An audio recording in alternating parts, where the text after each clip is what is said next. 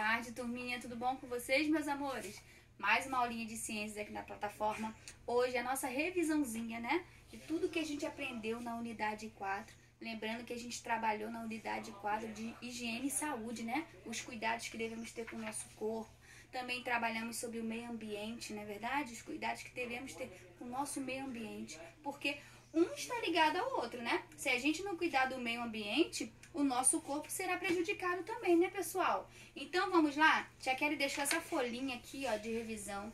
Quem não tiver como imprimir, não tem problema. Vai fazer com a tia Kelly aqui no quadro, tá? Somente as respostas, ok? Então vamos lá, olha lá. Revisão de ciências. Número 1. Um, indique quais das opções abaixo são atitudes corretas que devemos ter para cuidar do meio ambiente. Então, meus amores, tem três imagens aqui. Na primeira imagem tem um menino jogando lixo, né? No lugar correto, porque devemos jogar o lixo na lixeira. na B tem a menina plantando, né, pessoal?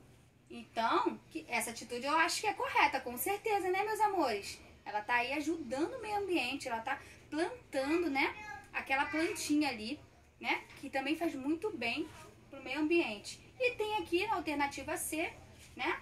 Um moço jogando papel assim, ó. Tá jogando papel no chão, né, pessoal? Então, olha lá. Das opções abaixo, são atitudes corretas que devemos ter para cuidar do meio ambiente. Então, quais as opções aí são corretas, meus amores? A A e a B, né, pessoal? Porque o último aqui, o menino tá jogando lixo no chão. Então, não é uma atitude correta. Então, as opções corretas são A e B, ok? Então, coloque aí número 1, A e B. Agora, relacione corretamente. A. Atividades que ajudam a manter o bem-estar mental. O bem-estar mental está falando da nossa mente, né, pessoal? Além de cuidar do nosso corpinho, nossa mente tem que estar legal. E para a gente cuidar da nossa mente, a gente precisa ter alguns hábitos, né? Legais. O que, pessoal? Tem duas opções aí que é de atividades que são legais para a gente ajudar a nossa mente. Porque lembra quando a gente estudou saúde mental? Para ter boa, uma boa saúde, não basta cuidar apenas do nosso corpo, é necessário cuidar da nossa mente. Então, praticar esportes, ler livros, isso ajuda também a nossa mente, né? Então, olha lá, vocês podem aí colocar na, na, na alternativa a leitura, tá? No, na A você pode colocar a A e pode colocar a B também, que praticar esporte também ajuda, né, na saúde mental, tá? Mas a tia Kelly vai colocar aqui, ó, no número 2, letra A, vou colocar aqui, tá? Você vai colocar a ok? Então, bota o número 2 aí. Aqui, atividades que ajudam a manter o bem-estar físico. Físico, nosso corpinho. Andar de bicicleta, né? Com certeza. Então, coloque aí. Aqui você pode colocar um ou dois, ou pode colocar dois, tá, gente? Porque as duas atividades aqui ajudam também, tá? No bem-estar mental, ok? E aqui, no bem-estar aqui, pra gente ajudar o nosso bem-estar físico, andar de bicicleta, praticar esportes, né, pessoal? Isso ajuda muito o bem-estar físico pro nosso corpo, ok? Então, olha lá, número 3, meus amores. Quais das atividades ilustradas abaixo são hábitos de higiene? Então, os cuidados que devemos ter pro nosso corpo os hábitos de higiene. Olha lá. A. Cortar as unhas. É um hábito de higiene? Sim. Então coloquem aí, tá? A. B, pessoal, escovar os dentes. Também, né, meus amores? Temos que escovar os dentes, não é verdade? Então botem aí. B. Tomar banho, gente. E aí? É um hábito de higiene? Sim, tomar banho sim. C também, com certeza. E aí, gente, suar o nariz? Sim. Olha lá, ó, o menino tá fazendo correto. Então, ó, também está correto isso aí.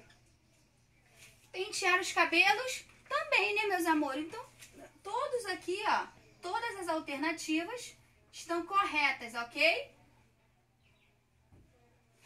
A, B, C, D e E estão corretas, ok? Então, vamos lá. Terminamos a primeira folhinha de revisão. Virem aí, ó, e vamos fazer agora número 4. Cite dois elementos importantes para a hora da higiene bucal. Então, sabemos que a higiene bucal é os cuidados que temos que ter com nossos dentes, né? Com a nossa boquinha. Então, meus amores, fala aí. você acha? Quais os elementos importantes para a gente cuidar da nossa boquinha? E aí? escovar os dentes, né? E a gente precisa de quê para escovar os dentes? E aí?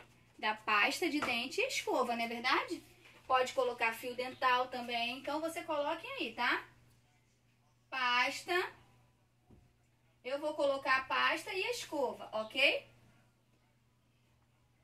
Você pode, você pode escolher aí fio dental, ok? O que você achar melhor, tá bom? Agora, indique a opção correta. Então, a A e B só tem uma correta, ok? Vamos lá.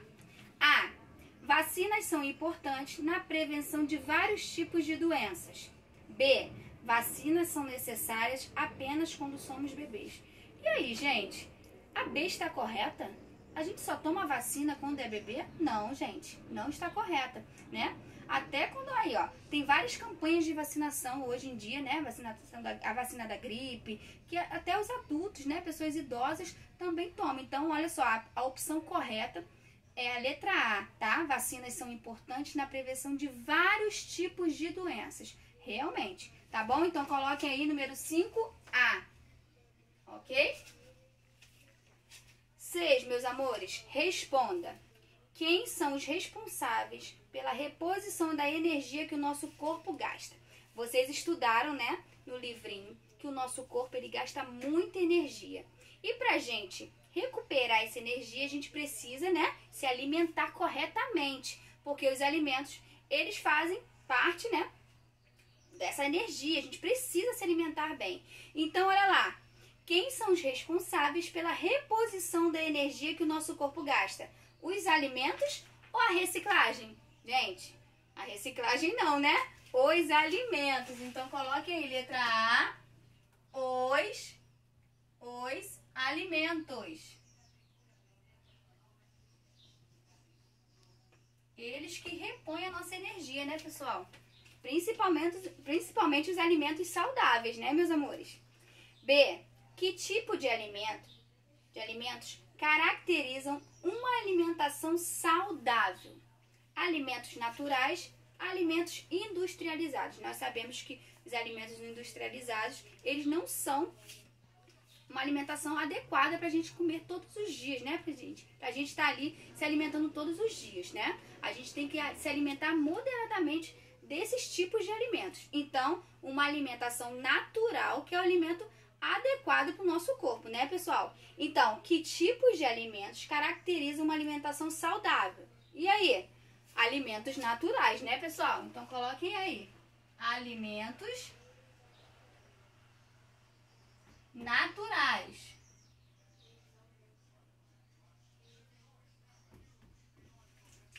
C, gente, praticar esportes e estudar consomem nossa energia. Sim ou não? Sim, gente, né? A gente aprendeu que a gente gasta muita energia, né? Estudando, praticando esporte, brincando. Então, olha lá, tá correto. Praticar esportes e estudar consome nossa energia.